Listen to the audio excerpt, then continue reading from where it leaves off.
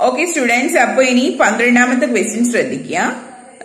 പതിനൊന്ന് ഞാൻ നേരത്തെ പറഞ്ഞിരുന്നല്ലോ. അപ്പൊ പന്ത്രണ്ടാമത്തേൽ എന്താണ് പറയുന്നത്? റിപ്പോർട്ടഡ് സ്പീച്ച് ആക്കി മാറ്റണം. അതായത് രണ്ടുപേര് സംസാരിക്കുന്ന കാര്യം മൂന്നാമത് ഒരാൾ വേറൊരാൾക്ക് ഇത് കൺവേ ചെയ്തു കൊടുക്കുകയാണ്. അത് രണ്ടുപേര് സംസാരിക്കുന്നത് കേട്ടിട്ട് മൂന്നാമത് ഒരാൾ നാലാമത് ഒരാൾക്ക് മൂന്നാമൻ ഒരു തേർഡ് പാർട്ടി എങ്ങനെയാണ് എക്സ്പ്ലെയിൻ ചെയ്യുന്നത് എന്നുള്ളതാണ് പറയുന്നത്. അപ്പൊ ശ്രദ്ധിക്കുക. Anita did you enquire about the date of commencement of the examinations Sudha, it is going to start on 1st March. Anita, who will provide the detailed information?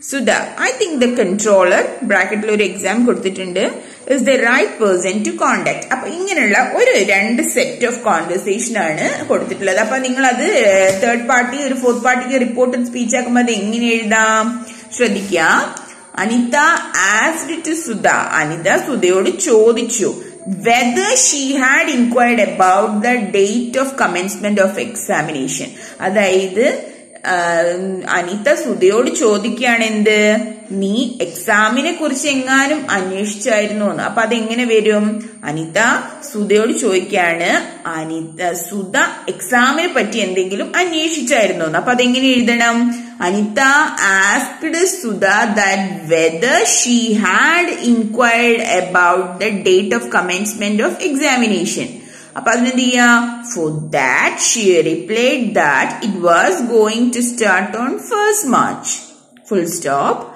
Anita as to Sudha that who will provide the detail information For that, Sudha replied that she think that the controller is the right person to contact.